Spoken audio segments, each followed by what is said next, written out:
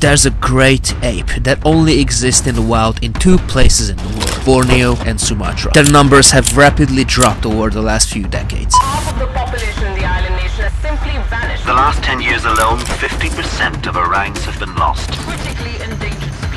Time is running out. With so few of these incredible creatures left, I knew I had to see them for myself while I had a chance. In this video, we're venturing deep into the Sumatran jungle on a mission to find the last orangutans. Join me on this unforgettable journey. Let's go. It's Levi's Travel Adventures with stories that you never heard. I pack my life into a backpack to goof around the world. Alright guys, three days and two nights seeking the orangutans. Here's one of our guides. What's your name? I'm Levi.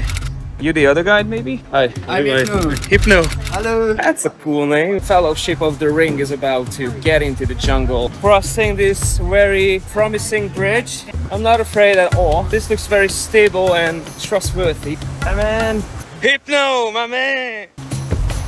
Oh, okay. There's a piece missing. First challenge, survive.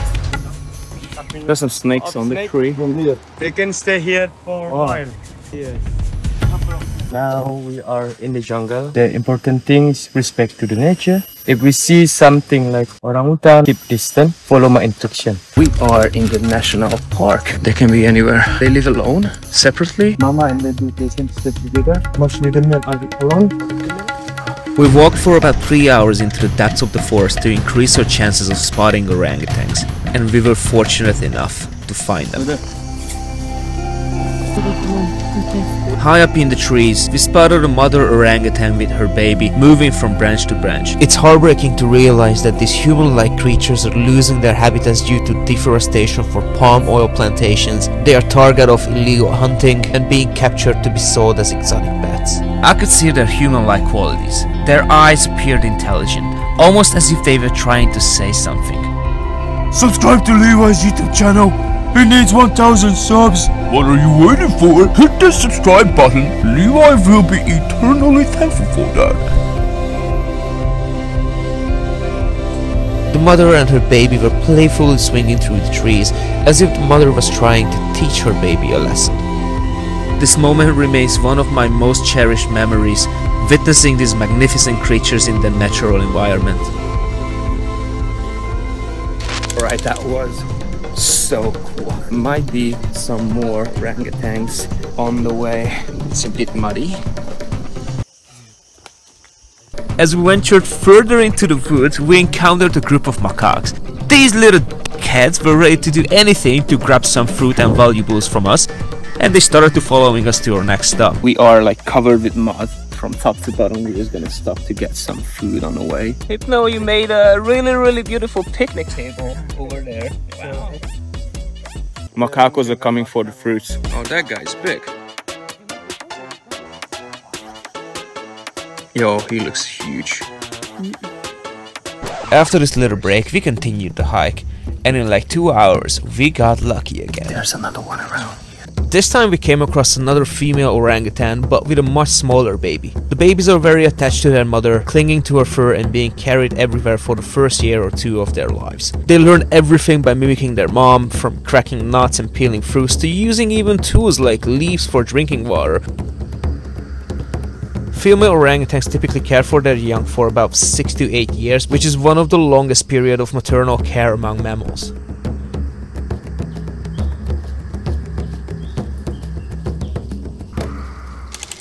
Getting pretty deep.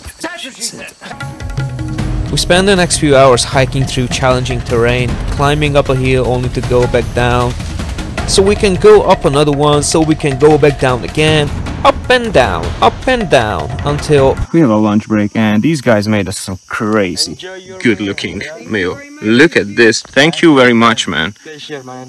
Not expecting this in the jungle, right? We're trying to make our way to the campsite. So we had some more uphills and more downhills, up and down again, until we ran into a group of monkeys. Sumatran leaf monkeys, to be more specific, are recognized for their black, grey and reddish fur and their expressive faces.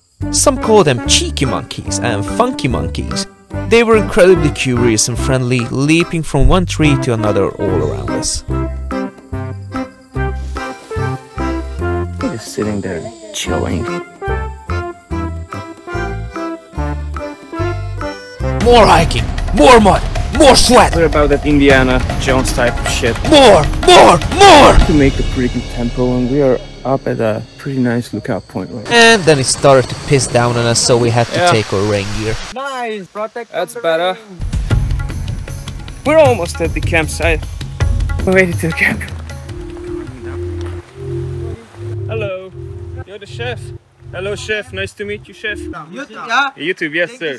Yes. So we got to the campsite, and exactly what you would expect from a jungle trek. This is the bedroom. All right. So you can sleep in these uh, mattresses, and you have the uh, mosquito nets. Extremely comfortable. Got the kitchen area here. Ooh, that looks very nice. We had some hot tea and coffee with the group when we had some unexpected guests.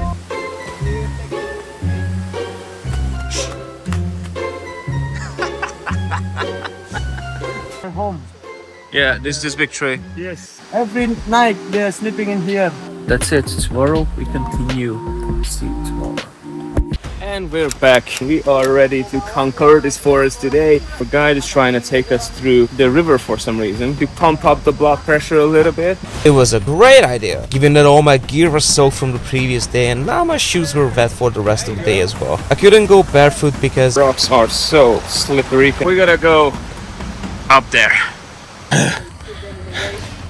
I love hiking. after hours of hiking we still hadn't spotted any wildlife. I was struggling to keep it together, I don't feel that energized today. I feel like it's a lot harder. exhausted, incredibly uncomfortable, and not as sharp as I needed to be. We gotta be very, very cautious. We had been climbing uphill all day through the forest, but sadly, there were no orangutans inside. We did come across some weird looking turtles, but who cares, they're boring.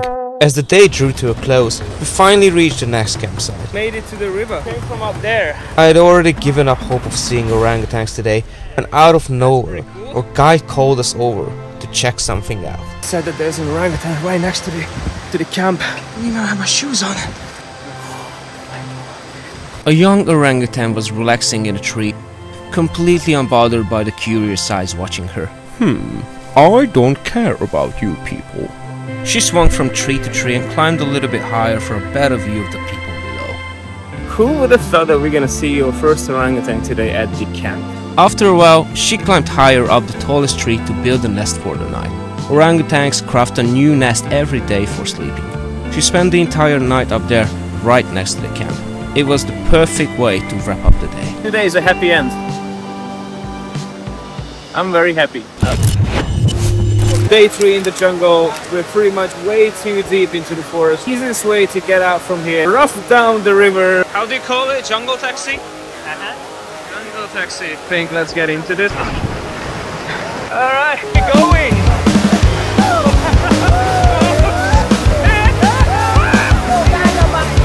Doing good back there? No.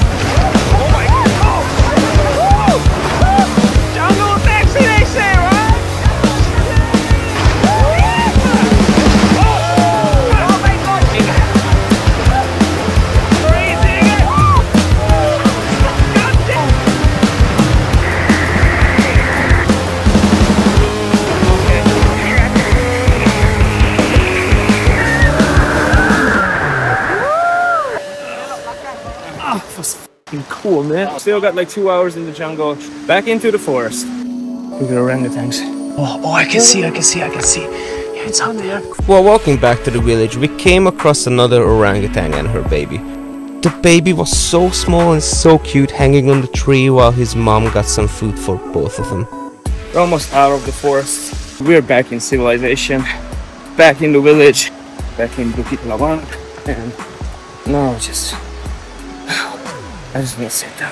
After spending three days in the Sumatran jungle in search of orangutans, I realized how incredibly lucky I am to have witnessed these amazing animals in their natural habitat. Protecting the environment and wildlife is essential for ensuring a sustainable and bright future for generations to come, and I truly hope these creatures will thrive for as long as possible. Thank you for watching this video, make sure to check out my other Sumatra videos and let me know what you think. See you in the next one.